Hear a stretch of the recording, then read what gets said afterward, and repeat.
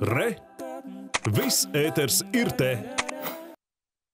Krīzes brīdī un arī ikdienā mēs savā valstī justos droši un, lai tiktu ievēroti likumi, rūpējas policija. Taču policijai pašai viens no lielākajiem izaicinājumiem jau gadiem ilgi ir darbinieku trūkums. Un situācija gan pamazām uzlabojas, un jauniešu vēlme papildināt policistu rindas pieaug. To šodien apliecināja arī lielais interesentu skaits valsts policijas koledžas atvērto durvju dienā, un turklāt bija arī ģirtas virbolis.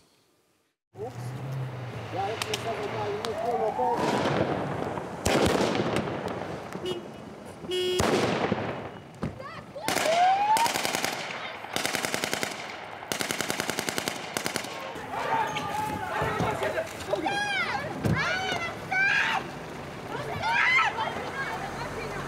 Šī par laimi nav īsta apšauda un aizturēšana, bet policistiem jābūt gataviem rīkoties arī šādās un pat vēl dramatiskākās situācijās.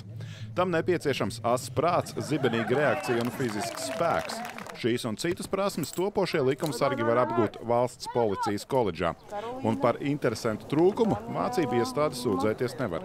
Vecākiem ir, un es gribu kā, turpināt šo paudzi, un ir reāli interesanti. Un reāli ir bīstams darbs, principā. Tāpēc ir interesants, manuprāt. Tas ir ļoti interesanta profesija, un man patīk palīdzēt cilvēkiem. Es pašlaik mācos 10. klasē, bet es domāju saistīt nākotnē ar policijas darbu. Gribās strādāt ko neparastu un palīdzēt citiem. Tas ir super. Kādi ir tie mērķi policijā? Droši vien, ka uz virsotni.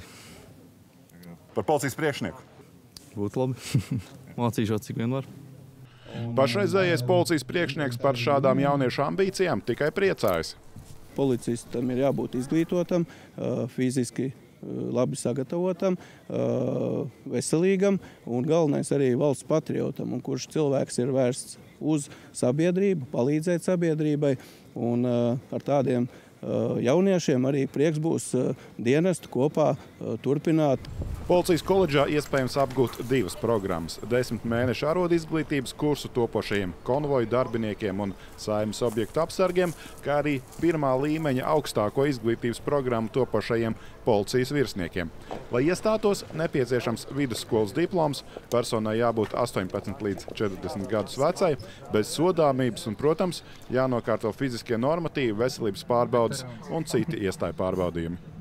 Šogad mēs arodizglītības programmā uzņemsim 40 reflektantus un pirmā līmeņa profesionāla augstāka izglītības programmā 150. Interese ir pietiekoši liela, ja tātad katru gadu mums stājās aptuveni 500 reflektantu, nu un ja rēķina uz 150, 190 vietām, tas konkurss ir aptuveni 3 reflektanti uz vienu studējošo vietu.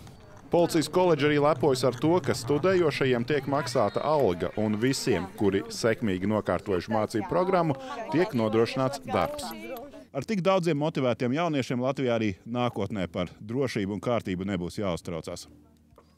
Viegs Zvirbulis, Aigars Kovaļevskis, Latvijas televīzija.